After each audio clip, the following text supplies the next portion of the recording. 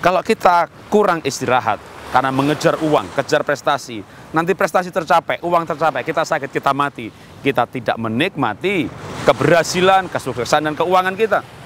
Karena itu mari kita berikan juga jatah ya istirahat pada tubuh kita supaya tubuh kita ini ada waktu untuk pemulihan sel-sel baru, ada waktu untuk kesegaran, ada waktu untuk beristirahat.